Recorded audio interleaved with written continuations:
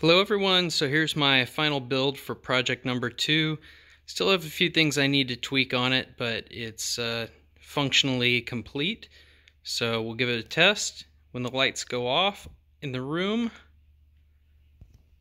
the lights will come on and flicker behind the hot air balloons.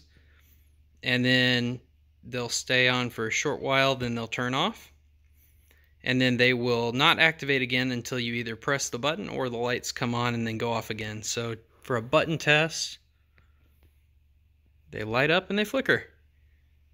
So we'll call this one a success.